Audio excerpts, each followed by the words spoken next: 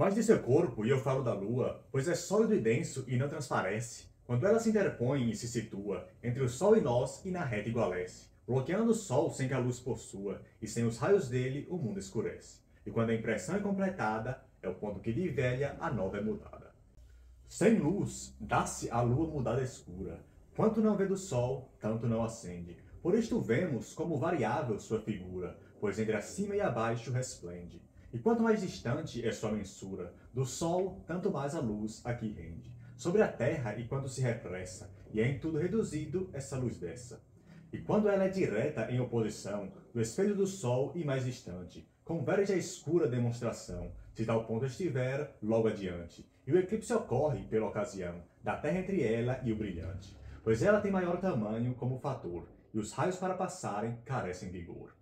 Em todo humor pode muito afetar, em todos os animais e em planta, e em seu crescer e em seu minguar, da força e fraqueza a tudo quanta. E assim muito deve ela resguardar, quem aos enfermos medicanta, que muito se vê daqueles a razão, dos que carecem sua consumação.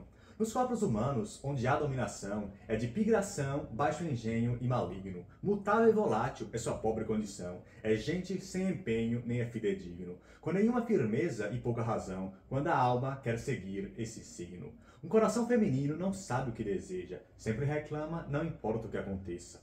Ó suma virtude, que em ti sempre é estável, a cada céu singular moção tu proveste e com a tua perfeita gran sabedoria inefável, diversas vias para cada um céu concedeste. Perpétuo é, compacto para sempre durável, que mantiveste sua lei, tu estabeleceste. Essa concordância celeste tão maravilhosa, ultrapassa no pensamento toda outra coisa.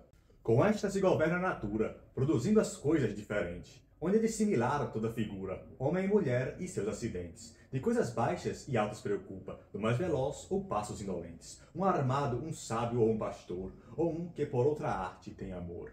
Assim vem tempo de carestia, noutro guerra e noutra abundância, quando seja paz e quando se morria, quando seja dor e quando se aprazia, de acordo com o planeta de senhoria, o mundo sente o bem ou se malicia, segundo onde as influências cairão, seja mais ou menos em cada divisão.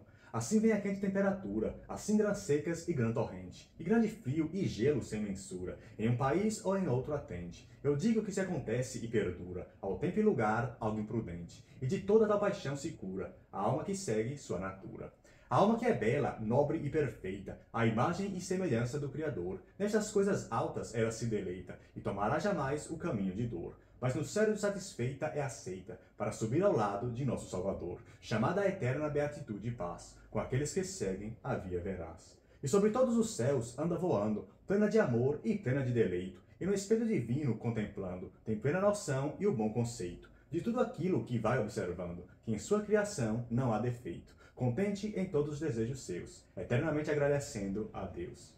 De ti, Senhor Supremo, temos falado, e deixe teus céus e sua influência, como por tua graça foi demonstrado. Agora deixai tua benigna clemência, mostrar os elementos e seu estado, as estações do ano e sua procedência, tanto suas qualidades quanto gerações, e dos corpos mortais as complexões. Tu, em medida, os elementos eleges, tens o termo de cada estabelecido, e um do outro claramente discernes. Primeiro é o fogo, no mais alto cito, inalcançável àqueles que submerges, mas por natureza, por si só, é subido. Sua esfera é abaixo do céu de luna, mas ainda não há mistura alguma.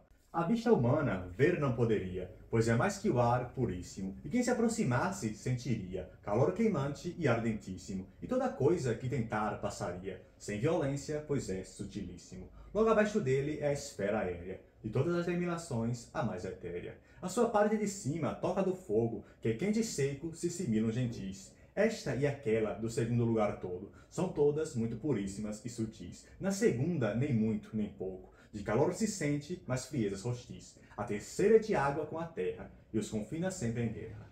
A água é úmida e fria, e o ar prende, dela a umidade e do fogo calor. Assim quente e úmido se entende, toda a complexão do ar e seu vigor, pois entre as duas ela se estende, e de um e do outro toma seu humor, e participando da água e do fogo, a terra é fria e seca no lugar todo. Terra de corpo sólido e pesante, mais grave que qualquer elemento, posta no centro da área circulante, a esfera mais longe do firmamento. De todas as partes é equidistante, entre ar e ela é da água assento. embora em partes se descobre a terra alta que a água não cobre.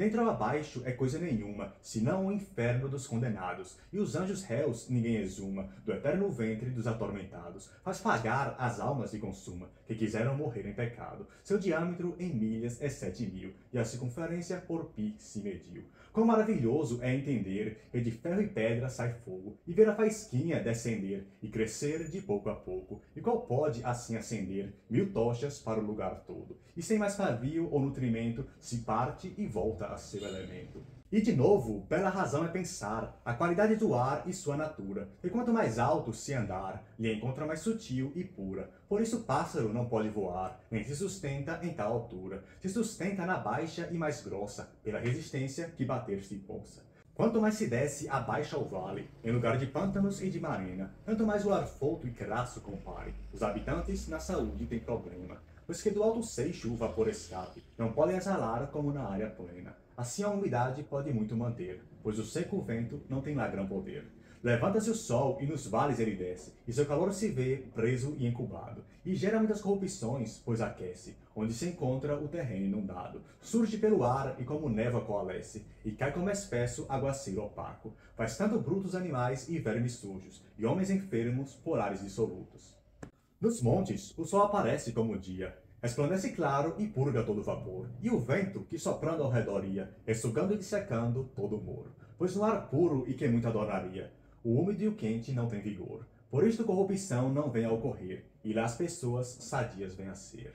Não há maneira do ar se engrossar, assim ele apenas sobe e vê a friura. E quando um lugar baixo esquentar, aquele úmido vapor surge em altura e encontra o frio sem mais se elevar, pois lá faz neve e cai sobre a planura. Nos montes ela se mantém por ser frio, mas já nos vales ela se torna água e rio. Mas no verão o sol mais se aquece e o calor leva mais alto todo o muro. Encontrando frio, ele se endurece e faz gelo que cai com muito rumor, pois se rompe e tudo se estremece, com granizo e com qual vapor, que quando seco e se bate acende, e com grande trovão e raio o ar fende. Aquele ar puro daquela alta região repugna e não consente mutações, e como se deles sofresse tensão, quando chegam essas exalações, e empurra de volta por esta razão, que este ar não recebe paixões, onde se move fortes e tal vento, ao mar e à terra dá tormento. O grande mar sobre a terra redonda, e a maior parte dele cobre a banha, e a terra, que é mais alta que a onda, surge do fundo como a montanha. Oceano é dito, esse que a terra ronda, mas pela estreita do mar da Espanha, se mete no meio da terra aquele mar, como Mediterrâneo viemos a chamar.